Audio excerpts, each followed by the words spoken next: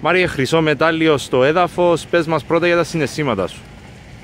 Ε, αισθάνομαι χαρούμενος καταρχάς. Ε, βασικά δεν περιμέναμε να πάρουμε το χρυσό στο έδαφος. Ε, κατά τη διάρκεια του αγώνα βλέπαμε πως οι αθλητές κάνανε μερικά λαθάκια. Ε, εμείς μετά ξέραμε ότι αν κάνουμε ένα καλό πρόγραμμα θα παίρναμε μετάλλιο, αλλά δεν, δεν ήξερα τι μετάλλιο και δεν περίμενα το χρυσό φυσικά.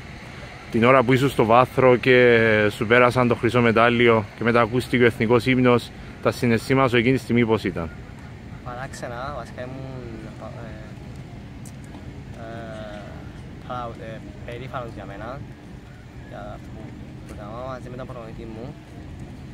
Ε, εντάξει, Στη συνέχεια έχεις δύο τελικούς ε, την επόμενη μέρα, στο Άλμα και στο Δίζυγο. Ε, τι είναι η στόχη σου μέχρι το τέλος των κοινοπολιτιακών αγώνων; Ε, ε, το δίζυγο μπο- μπορούμε να, να, να πάρουμε άλλο ένα ε, μετάλλιο. Θα βάλω τα δυνατά μου να, να πάρουμε αυτό το μετάλλιο. Ε, είμαστε διάθετοι να στον τελικό. Είμαι εγώ και ο Ηλίας ο Γεωργίου. Τώρα θα, παί- εκεί θα παίξουμε ποιος, όποιος κάνει το καλύτερο αγώνα θα πάρει αυτό που αξίζει.